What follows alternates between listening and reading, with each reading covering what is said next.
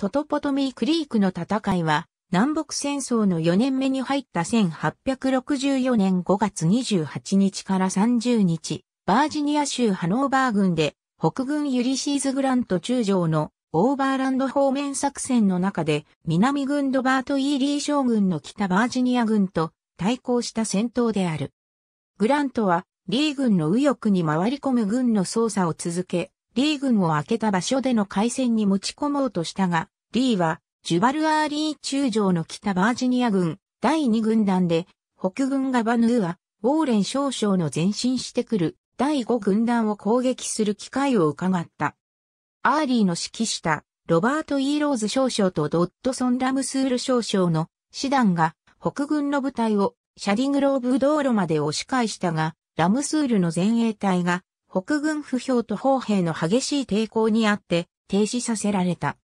グラントは他の軍団長に南軍の前線に渡って攻撃を支援するよう命令した。南軍はトトポトミークリークの背後の残壕に入っていた。北軍ウィンフィールド、スコット・ハンコックの第二軍団のみがクリークを渡ったが、すぐに撃退された。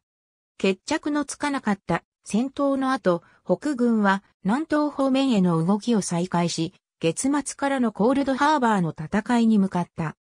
オーバーランド方面作戦の動き、1864年5月29日と30日、南軍北軍グラント軍がノースアンナの戦いでリーの仕掛けた罠から逃れた後、再度リー軍の右翼への回り込みを始めた。それは1864年5月の作戦を通じた特徴となる操作の継続だった。パムンキー側の北岸に沿って南東に動き、リー軍の前線を破るための適切な場所を見つけることを期待していた。5月27日、北軍騎兵隊が川の南岸、ハノーバータウン浅瀬近くに共闘法を構築した。グラントの不評部隊が溶かしている時に、両軍の不評師団が5月28日のホーズショップの戦いで戦い、決着はつかなかった。リー軍はトトポトミークリークの背後の残壕戦で不安定な形にあった。ホーズショップでの騎兵隊の行動でリーにグラント軍の接近してくる経路を示す貴重な情報を与えていたが、北軍がバージニア中央鉄道を破壊したために、南軍は物資不足に陥っていた。また人員も不足していた。リーは PGT ボーリガード将軍に、その1万2000名の軍隊から援軍を送ってくれるよう依頼した。ボーリガード軍はバミューダハンドレッドでベンジャミン・フランクリン・バトラー少将の軍隊を袋小路に追い込んでいたので、比較的余裕があった。ボーリガードは、当初、バトラー軍からの脅威が残っていると言って、リーの要請を断った。リーはこれに失望した。しかもノースアンナ以来下痢に悩まされ続けていたが、戦う決断をした。アメリカ連合国大統領ジェファーソン・デイビスに手紙を書き、グラント将軍が明日前進してくるなら、原油軍で戦うことになると伝えた。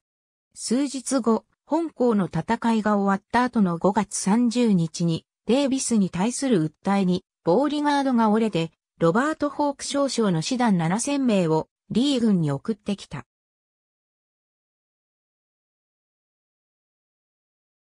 5月29日、グラント軍が南西に進んでリー軍と向かい合った。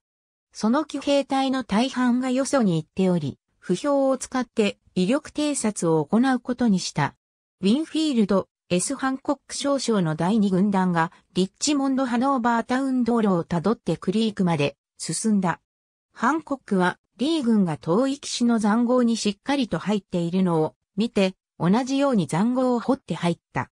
ガバヌーア、ウォーレン少将の第5軍団は第2軍団の前線の左翼に展開し、チャールズ・グリフィン准将の師団をクリークを越えた。シャディングローブ道路に置いた。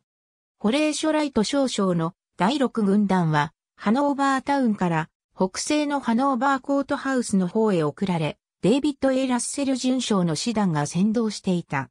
アンブローズ・バーンサイド少将の指揮する第9軍団がホーズショップ近くで予備隊となり、フィリップ・シェリダン少将の騎兵軍団は北軍の最左翼、オールドチャーチ近くにいた。南軍の前線は、左翼から右翼に、AP ヒル中将の軍団、ジョン・ブレッキンリッジ少将の独立師団、リチャード・ H・アンダーソン少将とジュバル・アーリー少将の各軍団が並んだ。その日は、小競り合い以上の戦闘は起こらなかった。戦闘はトトポトミークリークに沿って戦われた。そこは1862年にゲインズミルの戦いが行われた戦場であり、ハノーバー、ベセスダ教会、ゲインズミルの北とオールドコールドハーバーが戦場だった。ローズの攻撃ラムスールの攻撃グラントは5月30日に総軍前進を始めた。ライトの軍団は南軍の左翼にいる AAP ヒルの軍に対して南に動き、ハンコックの軍団はクリークを越えて中央のブレッキンリッジの軍を攻撃し、ウォーレンの軍団は、シャディグローブ道路に沿って、アーリーの軍に向かって西に動くとされていた。ライトの前衛は、クランプスクリーク近くで湿った土地に動きが取れなくなり、その日遅くまで第6軍団の動きを遅くした。ハンコックの三兵がブレッキンリッチの射撃号のいくらかを占領したが、南軍の本体前線に対してあまり前進できなかった。ジョージ・ミード少将がバーンサイドの予備軍団にハンコックを支援するよう命令したが、その日に到着したのが遅すぎて、戦闘に影響を及ぼせなかった。北軍の左翼では、ウォーレンがその第五軍団の残りにクリークを越えさせ、シャディングローブ道路に配置させた。この部隊は、道路沿いに西の偵察をはじめ、グリフィンが先導しその後を、サミュエル・ W・ クローフォード少将とライサンダー・カトラー准将の師団が続いた。リーは北軍のこれらの動きをグラントが南軍の右翼を回り込みで南東に進む、この方面作戦の戦略の継続だと解釈した。ウォーレン軍団の通り道にあったアーリーの軍団にアンダーソン軍団の支援を得て、ウォーレン軍団を攻撃するよう命じた。アーリーはロバート・ E・ローズ少将の師団をオールドチャーチ道路に沿って側面攻撃に向かわせ、ベセスダ教会で北に転じ、騎兵隊が藪を切り開いていた道をたどって、ウォーレンの後方を叩くように仕向けた。第五軍団がゆっくりと前進していたので、ウォーレンはその左翼の安全性を心配するようになっていた。クローフォードの師団に農道を南に進んで、オールドチャーチ道路に行き、そこに簡単な胸壁を作るよう指示した。クローフォードはマーティン・ディ・ハーディン大佐の旅団を前衛に送った。その構成員は、ペンシルベニア予備役の兵士であり、徴兵期限がこの日で切れるところだった。その連隊の一つ、ペンシルベニア第13予備役連隊はすでに除隊できる資格があった。その右翼には、J. ハワード・キッチング大佐の指揮下に、大きいが経験の足りない2個連隊があった。ローズの部隊は、正午頃に、直接、ハーディンの旅団に遭遇し、それを改装させた。ビーバーダムクリーク後方への撤退は難しいものであり、クローフォードの師団の全体系が崩壊し、第5軍団の左翼が露出した。南軍にとって不幸なことに、ローズの部隊はその標的を圧倒した際に混乱に陥っており、ローズが統制できなくなっていた。ローズは、アーリーの作戦を継続すべきか躊躇した。その作戦は北に押し出して、ウォーレン軍団の後方に回ることだった。アーリー軍団の多くはこの時も、行軍隊形にあった。またアーリーを支援すると期待された、アンダーソン軍団は、到着が遅れていた。ウォーレンはその軍団を南に動かして、アーリーの軍団に対峙させ始め、クローフォードは、農道で隊形を整えた。グリフィンの師団がその支援に移動し、チャールズ・ S・ウェインライト大佐指揮下の第5軍団砲兵隊が到着して、クローフォード隊の左翼、シャディグローブ道路の北に砲台をいくつか設置した。グリフィンの師団がクローフォードの右翼で塹壕に入った。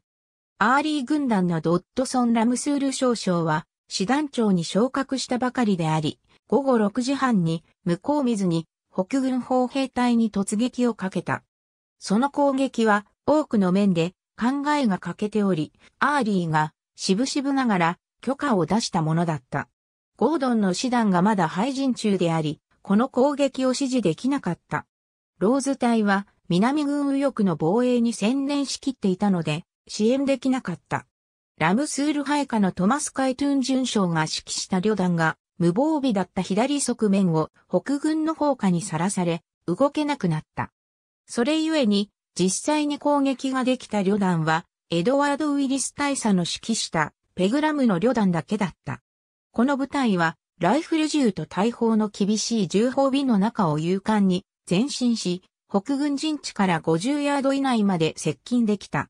ウィリスが致命傷を負い、旅団はその出発点まで後退した。ラムスールの攻撃は損失を出して撃退されたが、南軍兵の英雄的行動はそれを目撃した北軍兵から称賛された。ペンシルベニア第13予備役連隊にいた歴史家がその動きを次のように記録していた。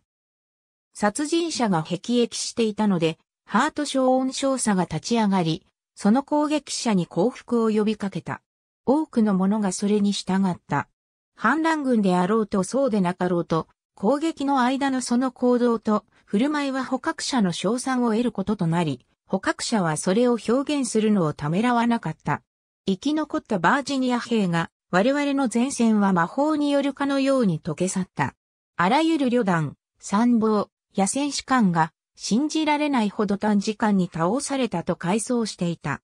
ミードがウォーレン軍団にかかっている圧力を解放するために全軍に総攻撃を命じたが、どの軍団長も即座に応じられる体制になかった。しかし、ウォーレンの部隊は特に援助がなくてもその苦境から脱出できた。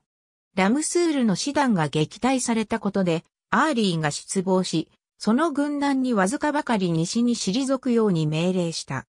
アーリーは、アンダーソン軍団が支援の間に合わなかったことを非難したが、兵士たちは十分な偵察もなしに突撃を命じたラムスールを非難した。歩兵隊はクリークと教会の近くで戦ったが、両軍の騎兵隊は同日にメタデクインクリークの東、オールドチャーチの戦いで衝突していた。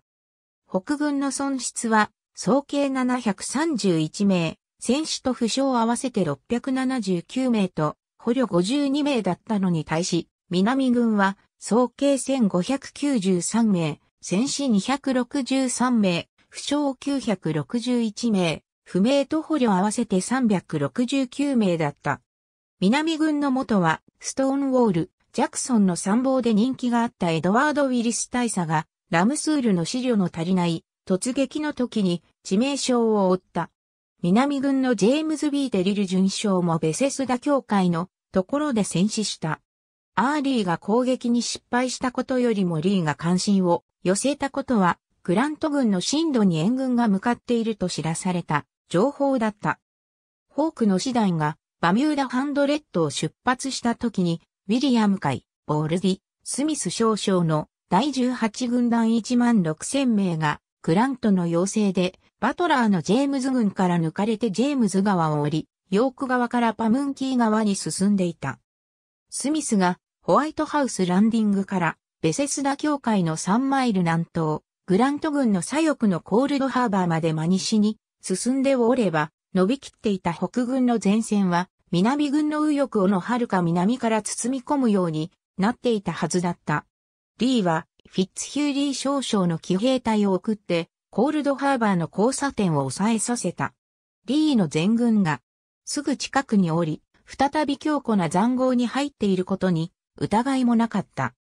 グラントは断固として難しいことに頭を使わないと宣言したチャールズ・ウェイダナグラントに同行していたアメリカ合衆国陸軍省の代表5月31日、ハンコックの第二軍団が再度とトポトミークリークを渡ったが、南軍の防衛線が実際のクリークの川床の背後にしっかりと敷かれていることが分かった。